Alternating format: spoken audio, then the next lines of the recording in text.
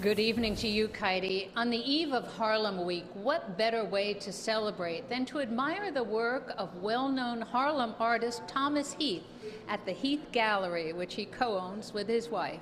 The art exhibit is called You Be Rolling, featuring 22 paintings by gallery co founder Thomas Heath, from his early years as a painter in Harlem to this most recent work created during the pandemic. You Be Rolling means that uh, we've uh, rolled through all of the bad times. This reminded me of all the care workers that used to come to my door with their roller bikes. I just thought about them, how hard they worked, how much it meant to me. Uh, those uh, workers who used to come when I couldn't get outside.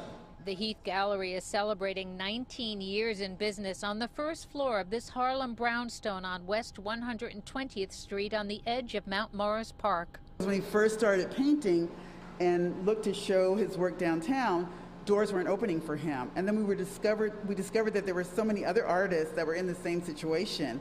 And we knew that we were renovating this building, it, you know, and it was like, well, once this is done, we're going to show your work on our own walls and we're going to share other artists' work on our walls too. Heath's work sells for between $400 and $12,000, and he is probably best known for these hand painted shirts.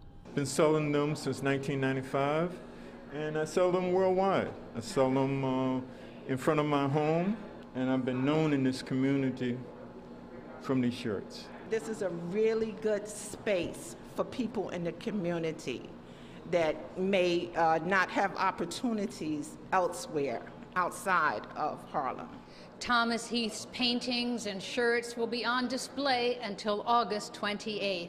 From the Heath Gallery in Harlem, Magee Hickey, Pix 11 News. Back to you, Kaity.